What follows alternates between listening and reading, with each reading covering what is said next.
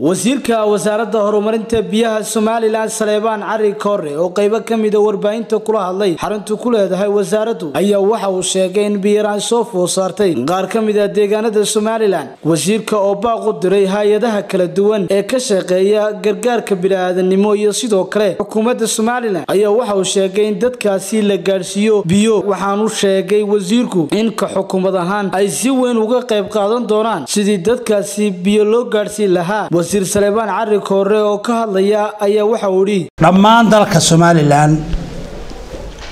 ha la kala daraado laakiin waxaa ka jira abaaro runtii aan dhib yarayn oo taabtay noloshii bulshada iyo noloshii dadka reer baadiyaha ahaa iyo dadkii ku noolaa tuulooyinka iyo meelaha kale ee ay nolosha ku haysteen arrinta ugu weyne hadda la sheegayaa abaar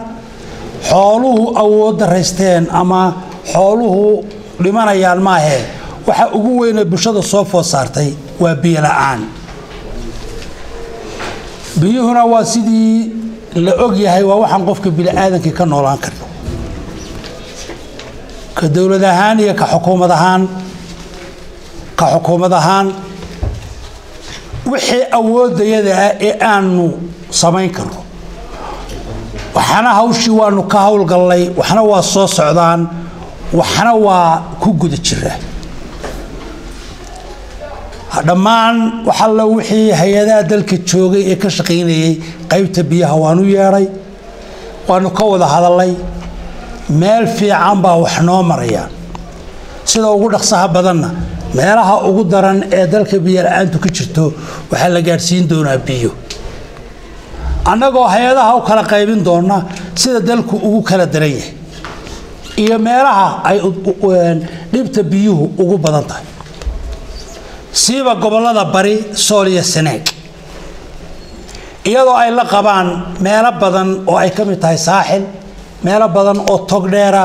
iyo meelo badan oo gobolka booram ah iyo gobolka hargeysa hawdkiisaba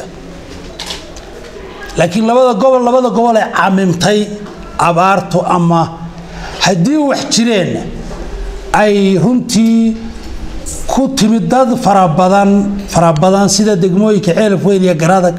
oo markii hore ladnaa waxaa isugu yimid wixii bari iyo sool iyo sanaag ilaa puntland ka yimid. Taasna waxay ka yeeleen inay wax alla wixii meesha lagu hayay.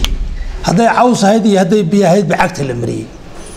Oo ay iyaduna la mid tahay dhibaatooyinka dalka ka jira qayb ka mida ama waxaan gaaladu tirahdo overgracing meeshii cagta iyo iyo iyo ciddidaba lagula tegay saddexda maalmood ama afarta maalmood oo soo socda waxaa bilaabi doona biyo dhaamis weli national level iyo qaranku wuxuu leeyahay guddi uu madaxweyne ku-xigeenku hogaaminayo tani efortiskan weli aanu samaynaynaa ama aan hadda ku dhawaaqaya waxa weeye mid wasaaradeed. Geesta kale wasiir saleebaan cari koore oo hadalkiisa sii wata ayaa waxa uu ka hadlay safaradii uu madaxweynaha somalilan ku tegey qaar ka mida waddamada somalilan la jaarka waxaanuu fariin u diray xisbiyada mucaaradka gaar ahaana xisbiga mucaaradka ee wadani wasiirka oo ka hadlaya ayaa waxa uu idhi guud aad iyo aad baan runtii u arkaa. Rajo fiican inuu qarankani yeeshay oo amalka ummaddu uu kor u kacay. Haddaan xusno oo keliya labadii booqasho ee ugu dambeeyey ee madaxweynaha jamhuuriyadda somalilan uu ku tegay etoobiya iyo dalka imaaraadka carabta oo labaduba si prestige leh oo ay ka muuqato milgo iyo karaamiya sharaf loogu soo dhoweeyey iyadoo lagu sharfay in calankii iyo ciidamadii madaxweyne waddan xor ah oo xalaala leh sidii loo sharfi jiray loo sharfay oo aan ahayn wax qarsoon iyo heshiisyada. Xisbiyada qaranka oo aan wadani ka tilmaamayo saaxiibkay cabdiraxmaan iyo ragga kale ee sharafta leba waxaan odhan lahaa inaynu u muuqanno in xisbiyada qaranku ay heegan u noqdaan midaynta qaranka iyo in ay waxa guud la wada dhiso oo waxa hoose ee aynu ku kala duwannahay ay noqdaan wax loo kala. Xamse jaamac xuseen xamse awowo star t v hargeysa